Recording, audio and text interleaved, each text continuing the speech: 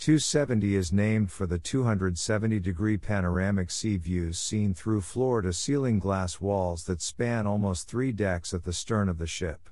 There is a mixture of tiered lounge style seating and an upper deck of stadium seats. By day, it's a comfortable space to kick back and relax. In the evening, it transforms into a state of the art entertainment venue.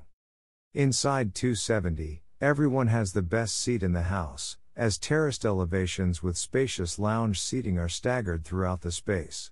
By day, families can sit back and relax, soak in the views, or grab a casual meal at the cafe at Two70, a gourmet marketplace.